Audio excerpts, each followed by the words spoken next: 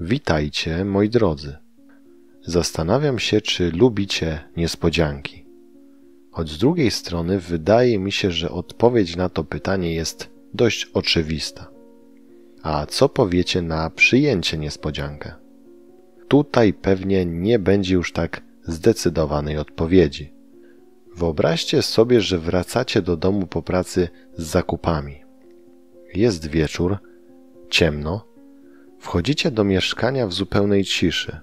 Zamykacie drzwi, nagle ktoś za waszymi plecami mówi: Niespodzianka. Przyznajcie, serce o mało nie wyskoczy nam wtedy z piersi.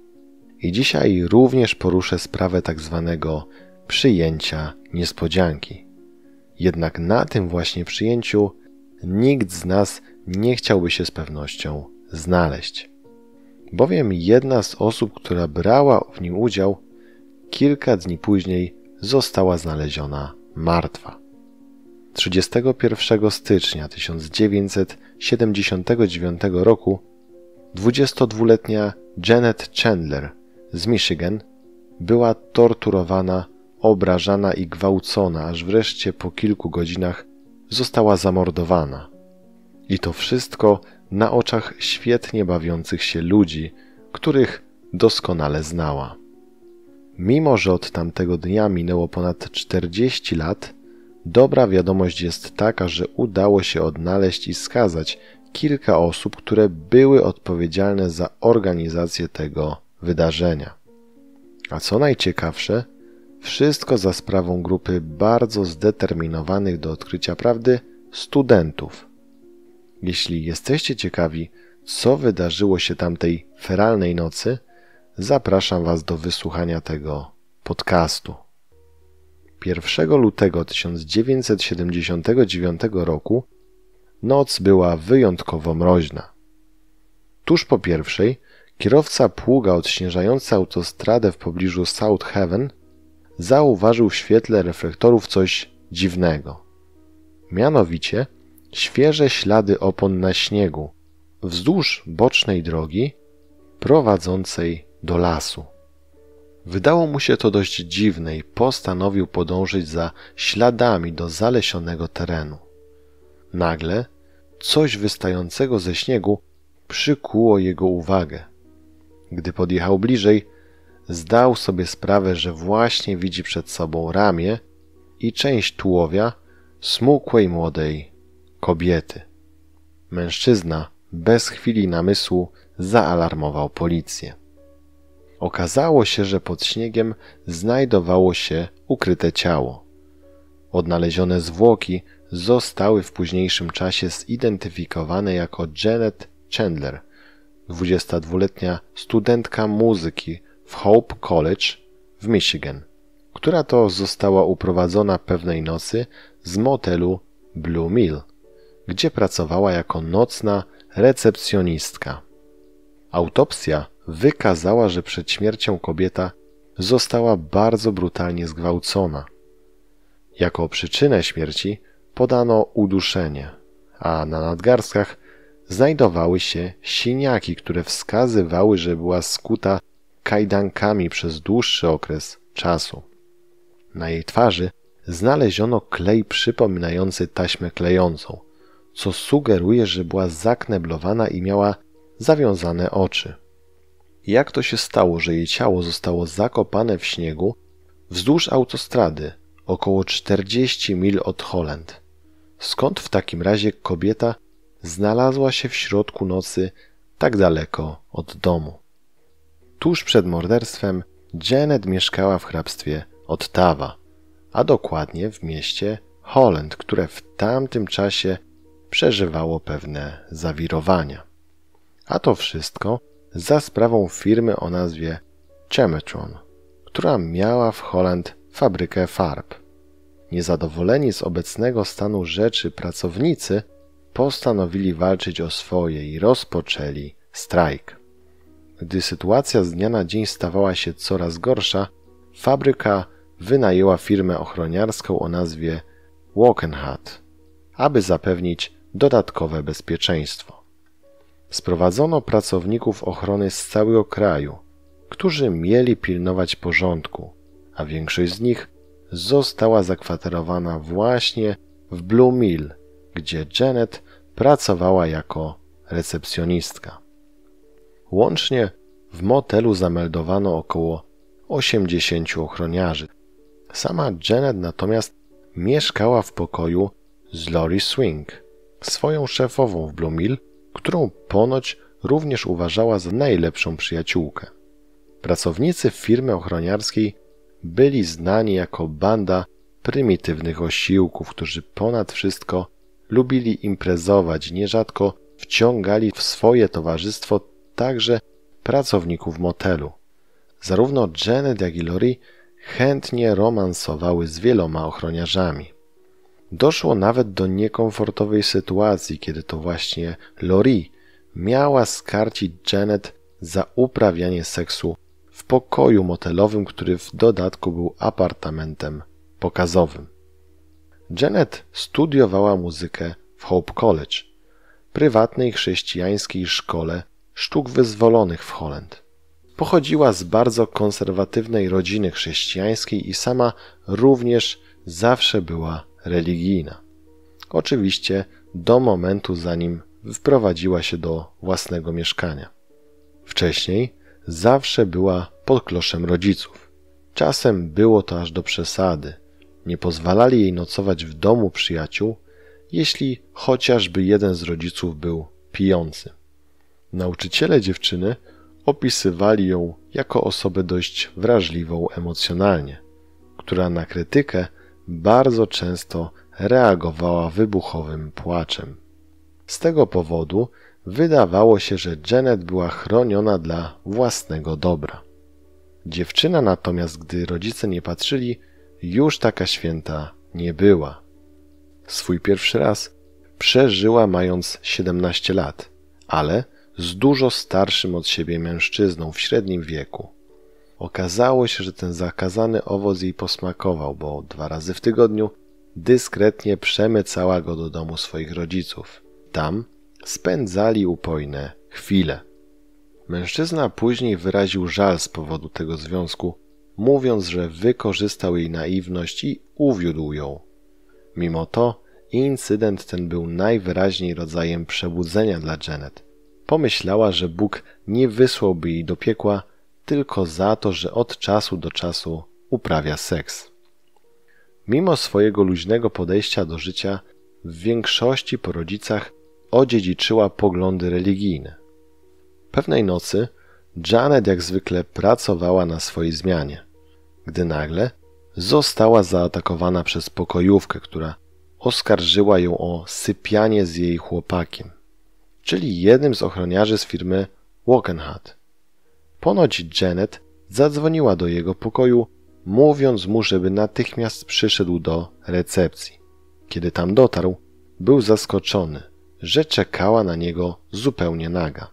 Następnie oboje udali się do pustego pokoju, a tam uprawiali seks. Historia wydawała się dość nieprawdopodobna, jednak pokojówka była wściekła, kiedy dowiedziała się o tym małym incydencie.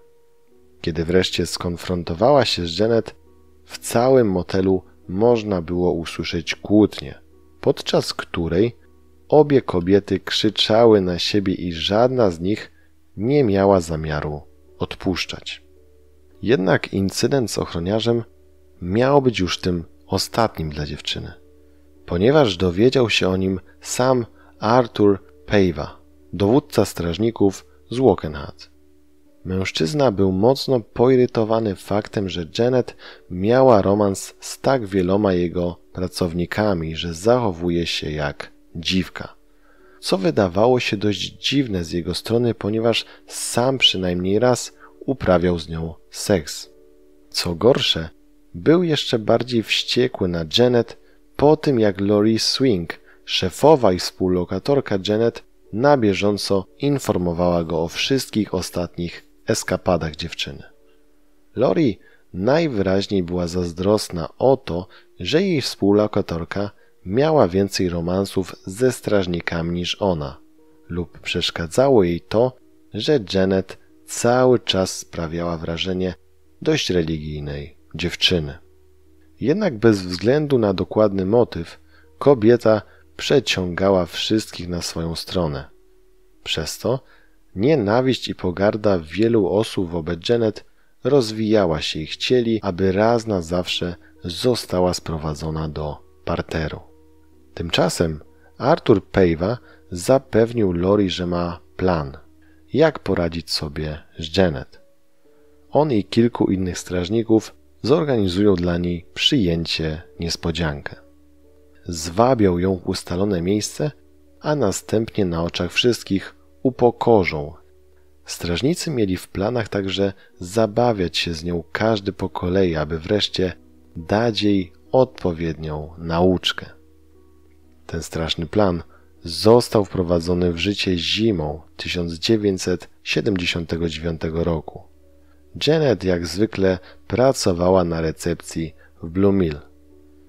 Ale którejś nocy odwiedził ją Robert Lynch, ochroniarz z Wokenhat, który powiedział jej, że organizują przyjęcie niespodziankę na jej cześć. Dziewczyna była zaskoczona, ale zgodziła się. Owinął jej oczy gazą, a następnie zakleił taśmą klejącą. Zupełnie nieświadoma nie stawiała żadnego oporu. Wierzyła, że idzie na prawdziwe przyjęcie i że ludzie chcą zrobić dla niej coś miłego. Została zabrana do pensjonatu w pobliżu zakładów Chemetron. W tym pensjonaście, w przeciwieństwie do innych ochroniarzy, mieszkał właśnie Arthur Pejwa. Gdy tylko Robert Lynch przywiózł Janet do domu, została siłą rozebrana, zakneblowana i zakuta w kajdanki. Przez następne 17 godzin Janet była upokarzana, gwałcona i torturowana aż do samej śmierci. Na początku wydawało się, że celem było jedynie upokorzenie Janet, lecz w wyjątkowo okrutny sposób. Biegała po całym domu z zawiązanymi oczami, zakneblowana, skrępowana kajdankami i całkowicie naga. Przez cały ten czas pozostali pili, żartowali i doskonale bawili się, podczas gdy ona walczyła o życie. Obrażali ją i szydzili, mówiąc, że wreszcie dostała to, na co zasłużyła. Na wypadek, gdyby jednak kobieta w jakiś sposób zdołała się uwolnić, przygotowano coś ekstra. Wokół jej szyi zawinięto pas w taki sposób, że pociągnięcie za jego koniec powodowało zaciskanie. Było to używane jako sposób kontrolowania. Za każdym razem, gdy tylko próbowała stawiać opór lub walczyć w jakikolwiek inny sposób. Gdy w końcu znudziła im się dotychczasowa zabawa, postanowili pójść o krok dalej. Została przywiązana do łóżka. Wtedy to zaczęła się prawdziwa brutalność. Wszyscy mężczyźni na przyjęciu, na zmianę, bili i gwałcili Janet. Kiedy była gwałcona, inni rzucali obelgami i dopingowali gwałcicieli. Ta, którą uważała za swoją przyjaciółkę, czyli Lori, była wśród tych najgłośniej dopingujących. Nazwała Janet suką i krzyczała na nią, że zasłużyła na to wszystko, co właśnie się dzieje. Pokojówka, która pokłóciła się z Janet tuż przed morderstwem, także była obecna na przyjęciu. Podczas całego tego dramatu Arthur Pejwa używał aparatu fotograficznego, aby dokładnie udokumentować cały gwałt. Te zdjęcia miały być dla niego polisą ubezpieczeniową. Chciał być pewien, że nikt, kto był na przyjęciu, nie będzie mógł wydać innych, nie obciążając jednocześnie samego siebie. Okrutne znęcanie się nad Janet trwało już bez przerwy aż do jej śmierci. Wreszcie Robert Lynch był tym, który zabił Janet, zadając jej ostatni cios. Był o wiele starszy niż pozostali. W chwili zabójstwa miał 39 lat, podczas gdy pozostali byli w wieku około 20 lat. Podczas gwałcenia chwycił zapasek na jej szyi i podciągnął tak mocno, że udusił dziewczynę, całkowicie odcinając dostęp tlenu. Kiedy zdali sobie wreszcie sprawę z tego, że Janet nie żyje, wpadli w panikę. Wszyscy w popłochu rzucili się do sprzątania domu i znalezienia sposobu, jak pozbyć się jej ciała. Ostatecznie Janet została wywieziona i wrzucona do śnieżnej zaspy, 40 mil od pensjonatu. Tam została odnaleziona przez kierowcę pługa. Pejwa na sam koniec powiedział wszystkim, którzy tam byli, że ma zdjęcia, na których widać, że są w to zamieszani, tak aby nikt nie mógł puścić pary z ust. W przeciwnym wypadku każdy sam pociągnie się do odpowiedzialności. Przez wiele miesięcy lokalna policja przesłuchiwała przyjaciół i rodzinę Janet, a także jej współpracowników i gości w Blue Mill, gromadząc łącznie ponad tysiąc stron notatek. Ale nie pojawiły się żadne prawdziwe tropy i ostatecznie śledztwo zakończyło się nierozwiązaną sprawą. I przez ponad 20 lat zastraszenie wystarczyło, by nikt nie zdecydował się na przyznanie się do winy. Po bestialskim zamordowaniu Janet, świadkowie tego zdarzenia starali się żyć dalej swoim życiem. Chociaż wszyscy pamiętali i żyli w ciągłym strachu, że pewnego dnia świat odkryje, co zrobili tamtej nocy. Na pogrzebie Janet oczywiście nie zabrakło Lori, która później przeniosła się do Pensylwanii, gdzie pracowała jako asystentka pielęgniarki. Robert Lynch ożenił się i otworzył szkołę kosmetyczną wraz z żoną, z którą miał dwoje dzieci. Pozostali ochroniarze z Wokenhat, gdy strajk Czemetronu się skończył, wrócili do swoich domów i rozproszyli się po całym kraju. I tak w zasadzie wszystkim uszło to na sucho. Przez ponad 20 lat nikt nie poniósł żadnej odpowiedzialności za śmierć Janet. I gdyby nie grupa pewnych upartych, młodych ludzi z Hope College, być może prawda nigdy nie wyszłaby na światło dzienne, a przestępcy do końca życia pozostawaliby bezkarni. W 2003 roku grupa studentów filmowych z Hope College poznała historię o dziewczynie, która przed laty uczęszczała do tej szkoły, ale została zamordowana, a sprawcy tego czynu do dziś pozostają nieznani. Słysząc te słowa, postanowili dać z siebie wszystko, aby po latach rozwiązać zagadkę. David Schack, profesor prowadzący projekt, natknął się na historię Janet wiosną 2003 roku podczas rozmowy z detektywem, który odchodził na emeryturę z policji w Holland. Szok zapytał, czy była jakaś sprawa, która wciąż nie daje mu spokoju. Wskazując na zwinięte zdjęcie Janet, które wisiało na tablicy ogłoszeń już od 1979 roku, detektyw odpowiedział: Oj tak, zdecydowanie sprawa Chandler. Profesor chciał ostudzić również entuzjazm studentów, twierdząc, że to wprost nierealne, aby udało im się rozwiązać tą zagadkę. Celem projektu było raczej ożywienie pamięci o Janet w nadziei, że dzięki temu ludzie znów zaczną ze sobą rozmawiać i może ktoś wreszcie powie coś więcej o jej śmierci. Grupa studentów w ramach projektu nakręciła film dokumentalny o morderstwie, zatytułowany po prostu Kto zabił Janet Chandler. Film miał swoją premierę w 2004 roku i miał ograniczony zasięg w lokalnych kinach. Dokumentowi udało się ożywić pamięć o Janet i skłonić organy ścigania do ponownego otwarcia sprawy. Film odniósł sukces przekraczający nawet najbardziej optymistyczne nadzieje jego twórców, ponieważ trzy lata po jego premierze wreszcie aresztowano sprawców. Studenci podczas kręcenia filmu starali się dotrzeć do wszystkich, którzy znali Janet i mogli coś wiedzieć na jej temat, aby przeprowadzić z nimi wywiad. Udało się i przeprowadzono bardzo wartościowe wywiady z jej rodzicami, nauczycielami, a także wieloma policjantami, którzy byli zaangażowani w pierwotne śledztwo.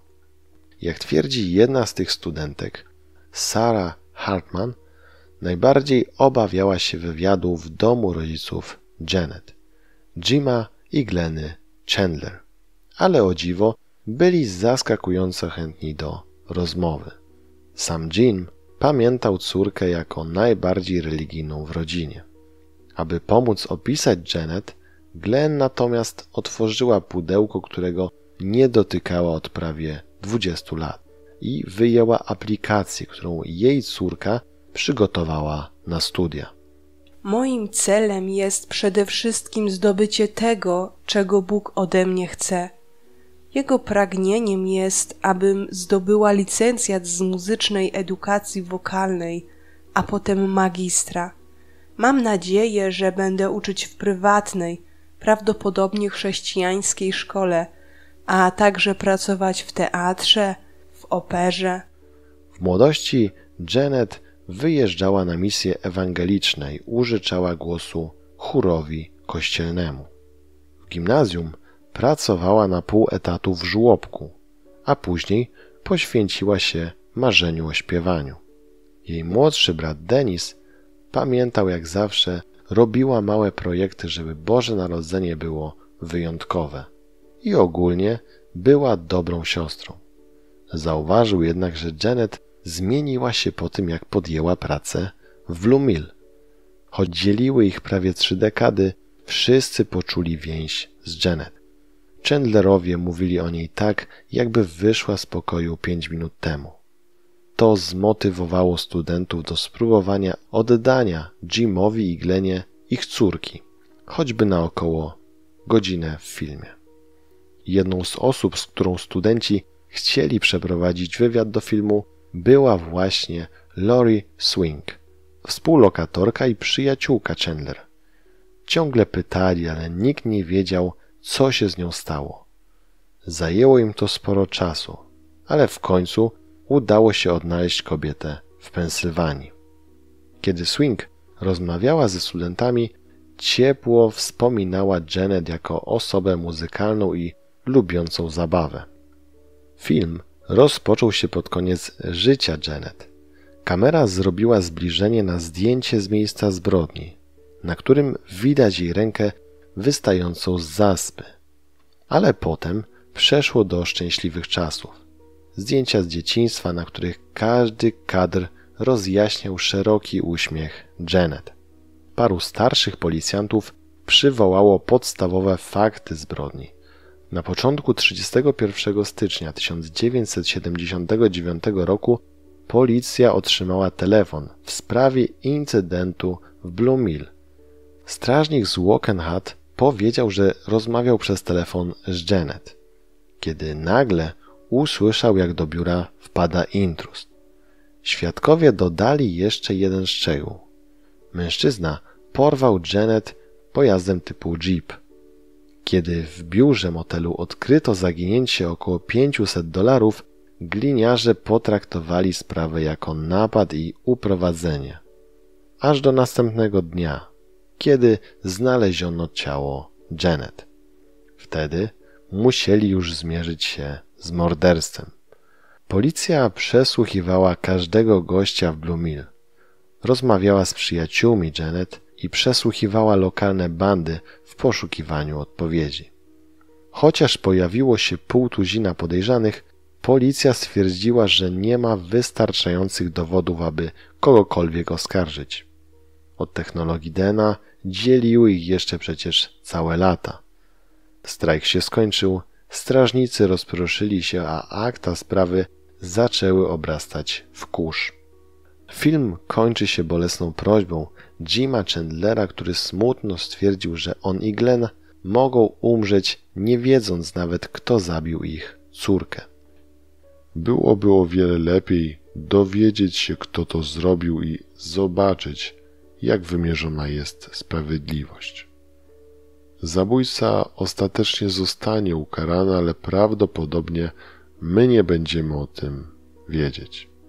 30 stycznia 2004 roku teatr w centrum Holland był wypełniony po brzegi. Na widowni był szef policji z Holland, który jako młody oficer był w niewielkim stopniu zaangażowany w sprawę w 1979 roku. W trakcie kręcenia filmów przez studentów podjął już kroki, aby ponownie otworzyć sprawę. Po wydobyciu starych akt z magazynu mężczyzna zadzwonił do policji stanowej Michigan. Detektywem wyznaczonym do prowadzenia ponownego śledztwa był 45-letni weteran David Van Lupik. Wychowany w Holland, dobrze pamiętał najgłośniejsze morderstwo w swoim rodzinnym mieście. Po przejrzeniu akt stwierdził, że jedyną rzeczą, której brakowało, był wyraźny obraz tego, jaka naprawdę była Janet. Van Lupik dowiedział się o dziewczynie, której dzieciństwo określała miłość i sztywne zasady. Umawiała się w liceum, ale nigdy nie posuwała się zbyt daleko w sprawach seksualnych. Gdy natomiast zapisała się do koledżu, nie była przygotowana na dzieci palące trawę na imprezach i dość szybko zaczęła przesuwać granice swojego wychowania. Kiedy w 2004 roku policja po raz drugi otworzyła sprawę, priorytetem stało się ponowne przesłuchanie wielu strażników Wokenhat, mimo że większość z nich od dawna nie mieszkała już w Michigan. Jedną z osób, z którymi przeprowadzono wywiad, był Robert Lynch. W tamtym momencie miał on 65 lat i dwójkę własnych dzieci, w tym 22-letnią córkę.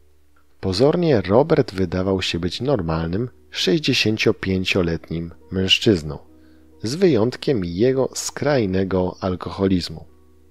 Człowiek ten pił jak szalony, kiedy tylko mógł. Zupełnie tak, jakby desperacko próbował o czymś zapomnieć. Śledczy od razu zaczęli podejrzewać, że Robert wie o wiele więcej niż mówi. Dlatego ciągle wracali do niego, licząc, że w końcu pęknie i powie prawdę. Po wielu wizytach w końcu udało się to osiągnąć i mężczyzna zaczął stopniowo wyjawiać, co tak naprawdę stało się tamtej nocy. Na początku zdradził śledczym, że tuż przed morderstwem Janet była na imprezie, która nieco wymknęła się spod kontroli. Ten fakt od razu zwrócił uwagę śledczych. Od ponad roku, kiedy śledztwo zostało wznowione, przesłuchiwali wielu ludzi, ale po raz pierwszy usłyszeli, że ktoś wspomniał o imprezie.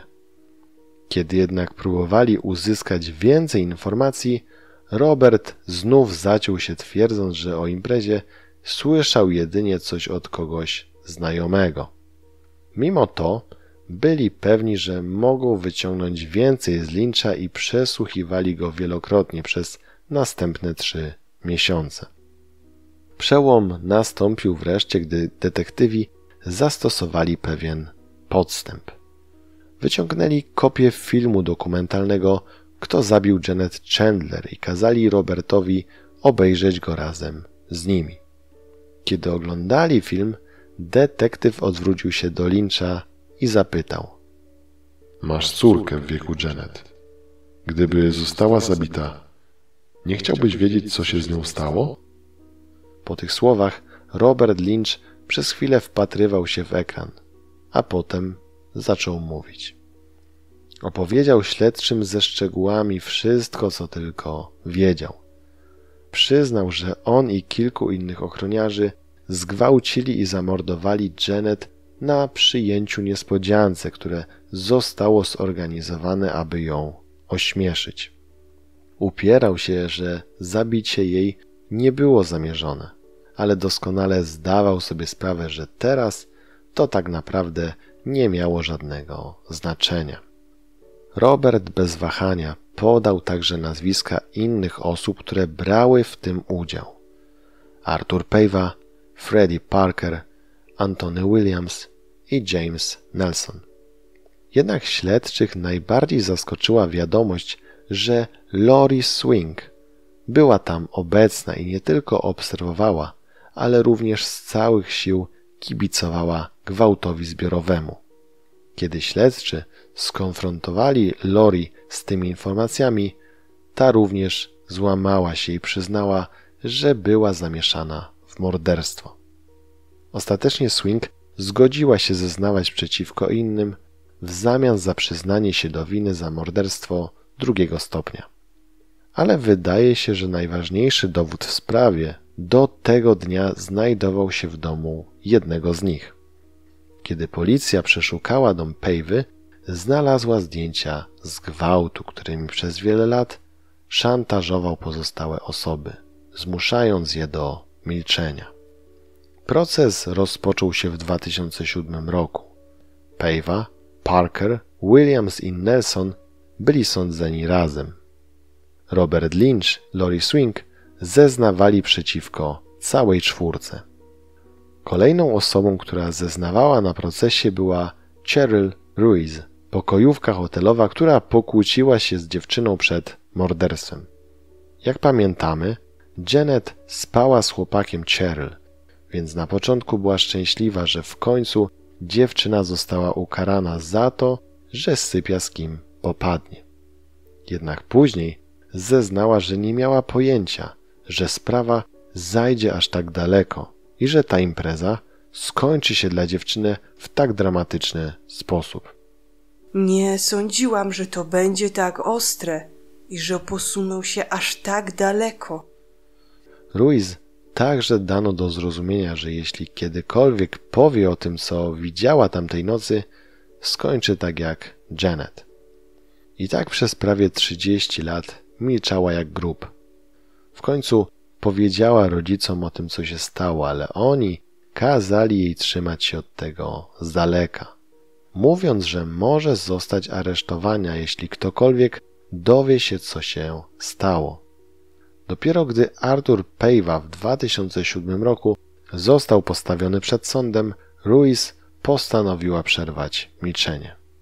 Podczas procesu twierdziła również, że oskarżeni Pejwa, Parker, Williams i Nelson przez lata po morderstwie składali jej niespodziewane wizyty w domu, aby grozić jej i przypominać, że jeśli kiedykolwiek powie o tym, co wydarzyło się na imprezie, skończy tak jak Janet.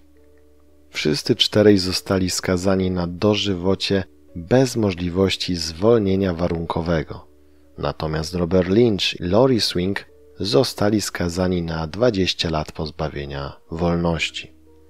Po wydaniu wyroków prokuratura stwierdziła, że w śmierci Janet mogły być zamieszane również inne osoby, ale jest mało prawdopodobne, że dojdzie do kolejnych aresztowań. Po odczytaniu wyroku matka Janet zwróciła się do Roberta Lyncha. Zniszczyłeś nasz rodzinny krąg, ale z Janet w niebie znów będziemy w komplecie. Powiedz nam, jaki przykład dałeś swojej rodzinie. Jej mężowi natomiast trudniej było mówić. Co mogę powiedzieć ludziom, którzy nie mają sumienia ani szacunku dla ludzkiego życia? Jednak tak bardzo się trząsł, że nie mógł dokończyć i musiał zostać wyprowadzony. Sprawa ta była jedną z najdroższych w historii Michigan. Całe śledztwo kosztowało blisko 2 miliony dolarów. Jeśli zaś chodzi o korporację Walkenhat, nadal istnieje, choć zmieniła nazwę na G4S Secure Solution. Nie wiadomo jednak, czy ta sprawa była tego bezpośrednią przyczyną, ale bardzo możliwe, że tak. W 2010 roku rodzina Janet próbowała pozwać ich za rzekomą pomoc w tuszowaniu morderstwa. Ale jak można się było spodziewać, pozew został bardzo szybko odrzucony. Warto jeszcze dodać, że w celi zmarło dwóch mężczyzn skazanych na dożywocie. W 2013 roku w swojej urodziny zmarł Arthur Pejwa, natomiast w 2020 James Nelson. Myślę o tej sprawie i wprost nie mogę się nadziwić, do czego zdolny jest człowiek z powodu byle pobudek. Dziewczyna została tak brutalnie potraktowana, podczas gdy kilka osób świetnie bawiło się i patrzyło na to, co się dzieje. Zwracam uwagę również na to, że Janet może faktycznie nie prowadziła się zbyt dobrze. Jednak jaka by nie była, morderstwo to morderstwo i nigdy nie będzie na nie usprawiedliwienia. Ale jednak cieszy fakt, że chociaż kilka osób poniosło zasłużoną karę. Być może kiedyś, dzięki takim filmom jak w tym przypadku, uda się rozwiązać inne zagadki, na których rozwiązanie czekamy już od wielu lat. Najbardziej tragiczne wydaje się to, że Janet została zwabiona w tak perfidny sposób. Wybrała się na to przyjęcie pewnie szczęśliwa, doceniona, być może niczego nie podejrzewała. A tymczasem, zaraz po wyjściu z samochodu, spotkał ją tak okropny los. Pomyślcie, jaki to cud, że kierowca ciężarówki akurat zdecydował pojechać za tymi śladami. Czy ktoś z nas postąpiłby tak samo, czy raczej pojechał przed siebie? I z tą refleksją Was pozostawiam. Jak zawsze dziękuję za wszystkie łapki, komentarze i subskrypcje. Jeśli jeszcze nie obejrzeliście poprzedniego filmu i nie zostawiliście pod nim komentarza, koniecznie musicie to nadrobić. Ja tymczasem żegnam się z Wami słyszymy się już wkrótce. Cześć.